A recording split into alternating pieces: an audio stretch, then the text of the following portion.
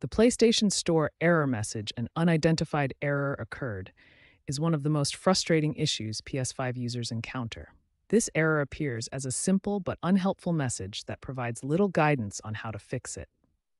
This error commonly appears in five specific situations when downloading or purchasing games, accessing downloadable content, browsing store categories, completing payment transactions, and updating existing games.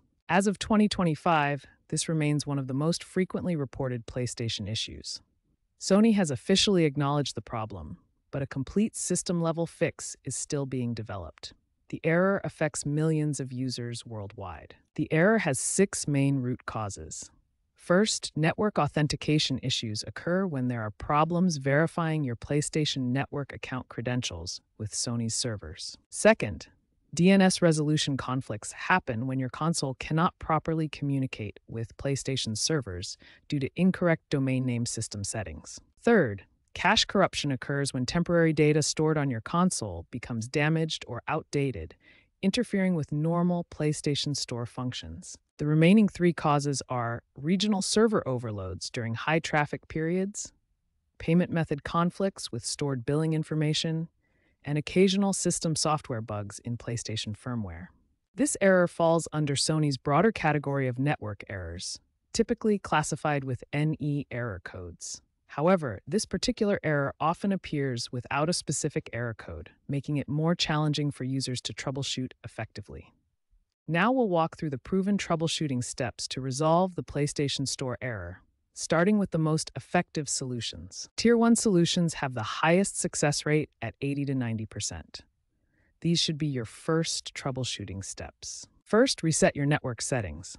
Navigate to Settings, then System, then Console Information, and select Reset Network Settings. After resetting, reconfigure your Wi Fi connection and use Google DNS servers 8.8.8 and 8.4.4 or Cloudflare DNS 1.1.1.1.